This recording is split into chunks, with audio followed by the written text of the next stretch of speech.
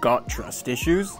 No worries, that's what I'm here to fix for you. When it comes to learning things off the internet, you need to know if the source is legit. I mean, we all know that you shouldn't believe everything you see online, but I am here to tell you that you should believe me. As you guys know, I'm just a kid at heart who wants to share the wonderful world of FPV with you. I've seen it all in the RC hobby over the past 10 years, and my experience is now going to be your knowledge. So, you're still listening? Okay, I will solve your FPV trust issues in these short freestyle sessions, I promise. But you need to quickly subscribe.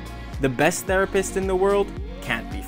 FPV goggles have now become a source of many trust issues. Not only has Caddx cut ties with DJI, which has people panic buying Vistas, the new Fat Shark Walk Snail whatever the new digital avatar system is creating even more chaos in the heads of FPV pilots. But before you have an anxiety attack, I'm here to tell you to calm down. Let's talk it out. Take a deep breath. The truth in the FPV goggle scene is gray right now. It is thin ice that has to be walked on carefully. The DJI FPV Goggles V2, current version of the Air unit, and Caddx Vista have been discontinued. The Fat Shark Walk system was nowhere near ready to be sold to the public, but certain online FPV influencers seem to care more about their free set of goggles in the mail than telling us the truth. Wow.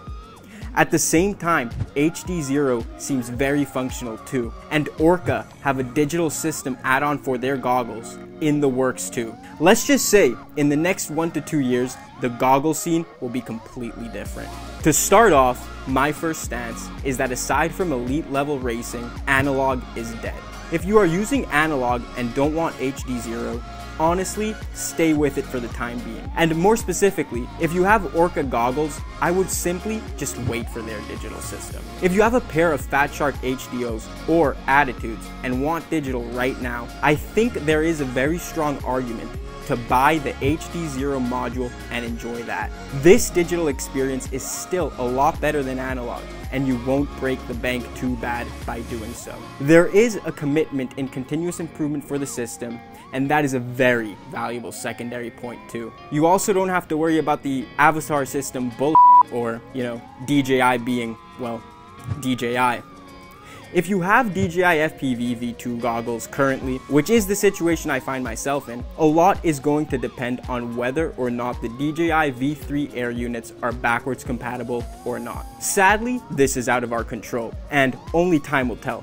But don't panic, one option in this situation is to buy a couple spare Caddx Vistas right now, as the system is perfectly viable, and that would mean that for a couple hundred dollar commitment, you guarantee to keep yourself in the air for another year or two, regardless of the V3 Air unit being backwards compatible or not. Not a bad choice. You could also decide to stick a big fat middle finger at DJI and switch to the Avatar system, which is a bit sketchy and not necessarily ready. This decision would also not be great because it will leave you with a spare set of $600 goggles that you bought less than two years ago. Not ideal. Buying a couple extra Caddx Vistas allows you to have more available VTXs for the same price as buying the Avatar system, which for $800 will only get you one VTX. If you have a lot of money to spend, this is probably the way to go, but just give the system a bit more time to be ready. Don't forget that the best equipment is always the one that you are fortunate enough to own. So just take a deep breath, charge your batteries, and beyond all this,